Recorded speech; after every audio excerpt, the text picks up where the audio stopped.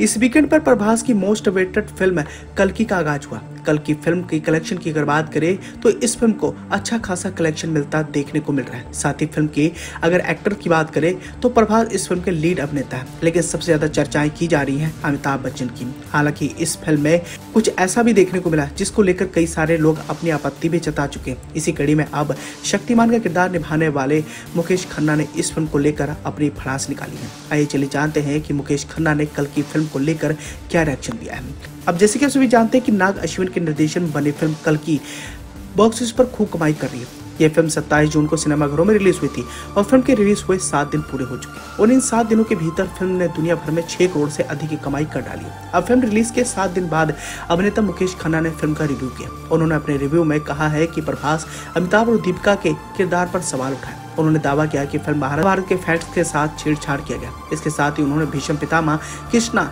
अश्वत्थामा, मणि को भी लेकर तंज कसा है मुकेश खन्ना ने अपने इंस्टा स्टोरी पर फ़िल्म का रिव्यू किया। इसके साथ ही उन्होंने अपने यूट्यूब पर अपना वीडियो बनाकर फ़िल्म का रिव्यू भी किया। वीडियो में उन्होंने काफ़ी कुछ कहा है और दावा किया है कि इस फ़िल्म को लेकर हर सनातनी को आहत होना चाहिए। ठीक उसी तरह, जैसे प्रभास की आखिरी फ़िल्म आदि पुरुष को देखने के बाद हिंदू धर्म को मानने वाले हुए थे। मुकेश खन्ना ने इंस्टाग्राम स्टोरी पर फ़िल्म के पोस्टर को शेयर किया है और पोस्टर में सभी स्टार कास्ट दिखाई दे रहे हैं। इसे शेयर करते हुए कैप्शन में लिखते हैं कि इस फ़िल्म का नाम कल की नहीं, बल्कि कल की होना चाहिए था। मुकेश खन्ना के पोस्टर के कैप्शन में ये भी लिखा है कि क्या कल की जैसी अच्छी और भव्य तरीके से बनी फ़िल्म में महाभारत के तथ्यों को अपने सहूलियत के लिए तोड़ मरोड़ कर पेश करना जायज़ है?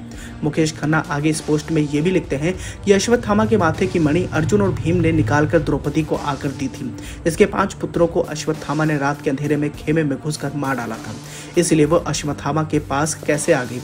ऐसे में और भी कई सारे गलत तथ्य फ़िल्म है ये फ़िल्म मेकर क्यों ऐसा दुसाहस करते हैं? उन्हें कोई रोकता क्यों नहीं है। क्या इसके लिए ही सिर्फ़ हिंदू ग्रंथ बचे हैं? उनके पास हालाँकि मुकेश खन्ना का ये पोस्ट सोशल मीडिया पर खूब सुर्खियाँ बटोर रहा है। पोस्ट वायरल होने के बाद मुकेश खन्ना ने अपने यूट्यूब चैनल पर भी फ़िल्म का रिव्यू किया है, जिसको लेकर उन्होंने काफ़ी कुछ अपनी भड़ास भी निकाली है।